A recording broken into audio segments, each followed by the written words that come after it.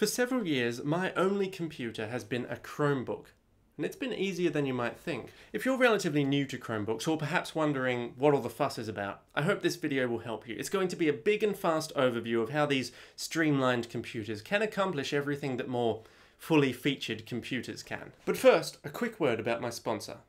I don't have one, and these are just my personal views. Yeah, gotcha. Chromebooks are essentially cloud computers. The thesis behind their design is that these days the internet is more important than the computer. They're designed to be efficient windows to the internet. This kind of thinking is admittedly a little ahead of its time. In a few short years, I imagine you'll be able to do almost anything in the cloud with ease. But we're not there quite yet. That's why Chromebooks are currently a little cutting edge, or shall we say, hopeful. Now, why would anyone get a Chromebook? Well, they're usually cheaper than their Windows and Mac counterparts, spec for spec. As they don't have to be high powered, they can be smaller and have longer battery life. They're mostly fanless, opting instead for passive cooling of their low powered CPUs. This means they're dead quiet, and they're not gradually cramming themselves up with dust, which slows down computers over time. Software updates are simple, automatic, and don't make a fuss. Since your files and settings are mostly stored in the cloud, you don't need big local storage. If you're already an Android user, having the same Android apps on your Chromebook means you don't have to deal with a different set of programs to those you might already have on your phone. Overall, the software is just not as complex, noisy, and bogged down as the other big operating systems. It generally just works. You know, I love computers. From custom Windows PCs to slick Macintosh devices, I like tinkering with parts and pushing hardware to its limits, but lately, most of the time, I just want a computer that does everything I want it to do, simply, easily, and without a fuss. That's Chromebooks. Chromebooks are about putting a modest amount of computing power to its full potential. It's elegant and minimalistic and strangely soothing to me. Now, how do I get away with a Chromebook being my one and only PC? Let's get into it. First, the obvious. Chromebooks run Chrome OS, the core of which is a full Chrome web browser, so you can access any website you would with any other computer. So that includes all your social media, your Facebook, your Twitter, your whatever, simple, easy. But hey, it doesn't stop there. You've got Android apps on Chromebooks too, so you can also access the more mobile focused platforms such as Snapchat and Instagram. For email, you've obviously got all the browser-based providers like Gmail, as well as Android clients. The only more sketchy area here is more advanced professional clients for business and the like. Microsoft Outlook has an Android app, but it's unlikely to match anything on Windows or Mac just yet. However, there are ways to run Windows and Linux apps on a Chromebook. I'll speak to that in a minute. Google Drive is of course readily available to you with docs and spreadsheets and so forth. These of course work with the cloud, so you may be wondering, can I use them offline? Yes. Yes, you can.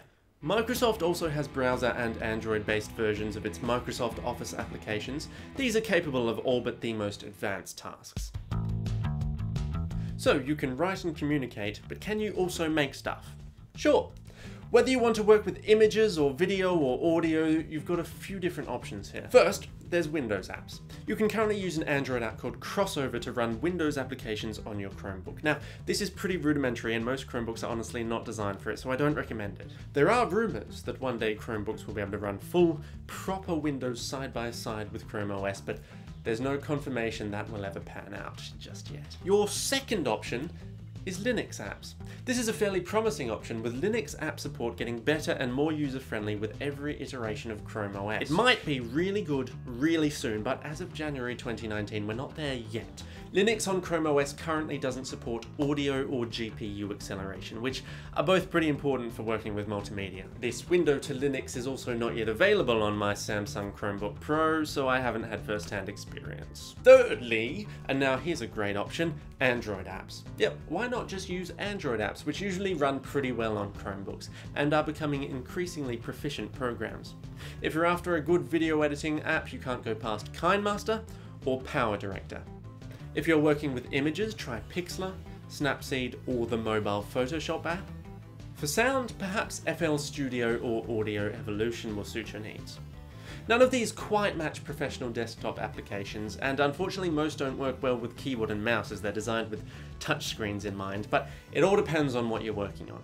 On the other hand, yeah, Chromebooks have touchscreens, and many come with a stylus, so if you want to draw, go nuts. Finally, web apps and the cloud.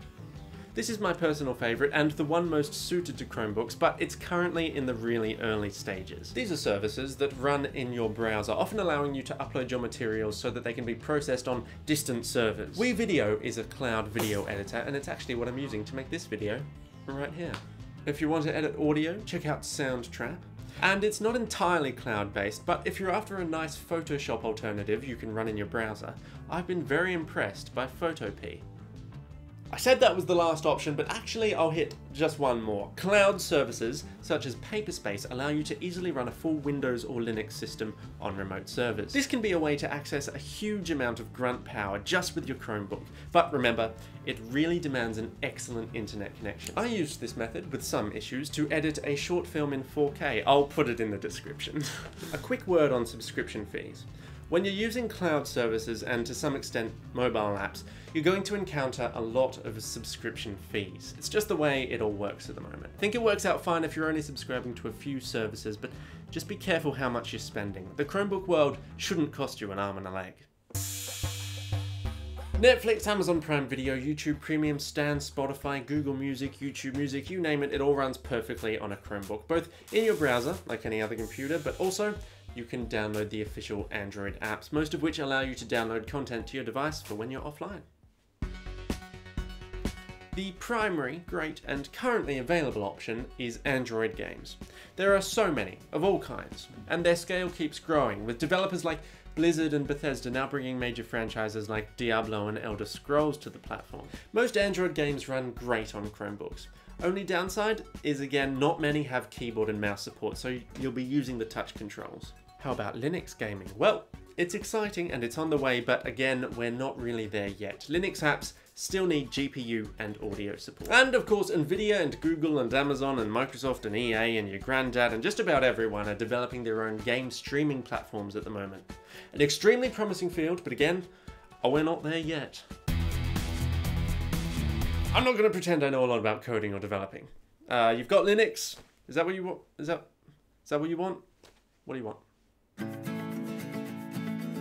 So, Chromebooks. They're not for everyone, but I'm clearly a big fan. I should point out, if you'd like to try Chrome OS on your current Windows or Mac device, you can do so by grabbing Neverware's excellent Cloud Ready OS. Works on pretty much any computer, it's a great version of Chrome OS, it's only missing Android apps and the Google Play Store. Phew, big video, lots of information. I'm sure I've glossed over things or missed things or explained things terribly badly. Feel free to make contact in the comments below. I'm fairly passionate about this. I believe software and technology does not need to be complicated for the user. Complicated is never inherently better, even for the most professional computing operations. Chromebooks are about ease of use and ease of access and simplicity where possible without unnecessary limitations. Thanks for watching. Oh, hey, um, yeah, just because I'm supposed to say it, I should say, um, yeah, don't forget to, uh, you know, uh, like and subscribe, you know.